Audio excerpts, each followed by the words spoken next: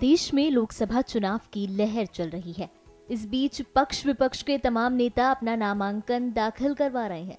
साथ ही road show और रैलियाँ कर चुनाव प्रचार कर रहे हैं। इस बीच केंद्रीय मंत्री और मुंबई उत्तर लोकसभा सीट से बीजेपी उम्मीदवार पीयूष गोयल अपना नामांकन दाखिल करने से पहले श्री पुष्टिपति गणेश मंदिर पहुँचे। पीयूष गोयल अपनी पत्नी सीमा गोयल के साथ मंदिर पहुँचे। उनके वहाँ पहुँचते ही उनके समर्थकों का जमावड़ा लग गया। भारी संख्या में लोग पीयूष गोयल का स्वागत करने वहाँ पहुँचे। ढोल नगाड़ों के साथ और मंदिर में प्रवेश करने से पहले आरती के साथ उनका भव्य स्वागत किया गया। इसके बाद पीयूष गोयल ने मंदिर में पूजा अर्चना की और वहाँ मौजूद बुज़ुर्गों से आशीर्वाद भी लिया। पीयूष गोयल के समर्थकों में भी बेहद उत्साह देखने को मिला। लोगों ने पीयूष गोयल को माल्यार्पण कर अपने स्नेह और सम्मान की डोर से बाँध दिया।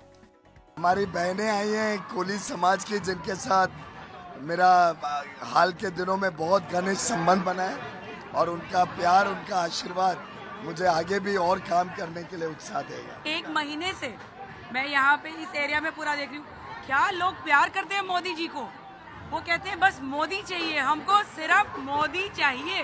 बस। कैसे मोदी जी आएँगे आप ये देखो। बस। मोदी जी आएगा। मोदी जी। वहीं जनता से मिल रहे प्यार और समर्थन पर पीयूष गोयल ने कहा कि मैंने पहले ऐसा ऐतिहासिक रोड शो कभी नहीं देखा। मुझे लगता है कि चुनाव की तैयारी तो आपने परसों भी जो शायद ऐतिहासिक रोड शो आज तक मैंने मुंबई में मेरे 40 साल के राजनीतिक जीवन में ऐसा रोड शो मुंबई में नहीं देखा जहाँ जनता भी उमड़ उमड़ के आ रही थी और कार्यकर्ताओं का उत्साह हमने तो एक घंटा, सवा घंटे का रोड शो छोटा सा ही रखा था, लेकिन इतना प्यार था कि लगभग एक घंटा हम शुरू नहीं कर पाए बोरीवली से, क्योंकि कार्यकर्ता इतने जुड़ते जा रहे थे, जनता इतनी ज़्यादा जुलूस में साथ में आ रही थी। आज भी हमने तो मंदिर के दर्शन का ही कार्यक्रम रखा था, और नॉमिनेशन तो बांद्रा में जाना है तो फिर भी इतना उत्साह, इतना प्यार, इतना स्नेह इतना अभिनंदन और इतना आशीर्वाद जो यहाँ की जनता का मिला है। मैं उत्तर मुंबई के सभी रहवासियों का सदैव कृतज्ञ रहूँगा और वर्षों वर्षों तक यहाँ पे सेवा कार्य करूँगा। मुझे लगता है कि शुरुआत भी अच्छी हुई है। हमने कल ही जो मेरी पहला वादा था उत्तर मुंबई को कि यहाँ पे एक मल्टी स्पेशलिटी अस्पताल बनना चाहिए, जो लोगों को दूर ना जाना पड़े मेडिकल इमरजेंसी में।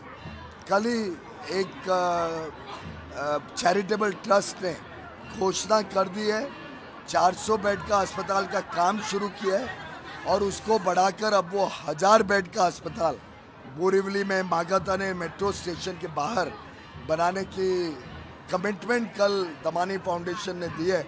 मैं समझता हूँ उत्तर मुंबई में मेरा आगमन एक हज़ार बेड का अस्पताल जो मुंबई का सबसे बड़ा प्राइवेट अस्पताल होगा, मुंबई का सबसे अति आधुनिक और मल्टी स्पेशलिटी अस्पताल होगा। मुंबई के बेस्ट डॉक्टर्स अब उत्तर मुंबई की सेवा करेंगे। तो शुरुआत अच्छी हुई है। गोरई में भी एक नर्सिंग होम का काम, एक बेंगलोर की मित्र ने सीएसआर में टेकअप कर लिया। उसकी टीम भी आके गोरई देख चुकी है।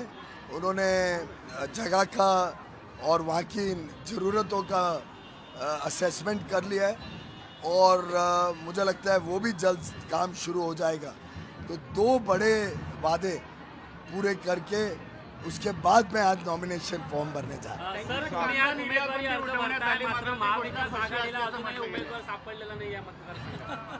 अब वो उनकी मजबूरी है।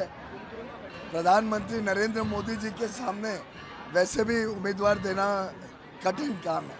और मोदी जी की आज जो लोकप्रियता है,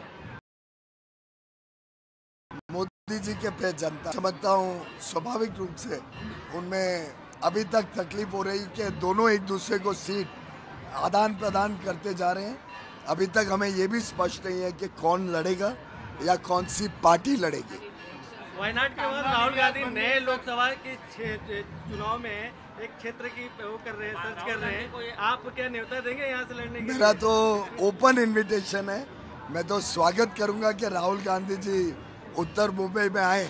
मुझे लगता है जनता का उत्साह और बढ़ जाएगा कि मुझे और बड़े मार्जिन से जिताए यहाँ से। इस बीच मंदिर पहुँचे उनके समर्थकों ने उनके साथ फ़ोटो भी खिंचवाई और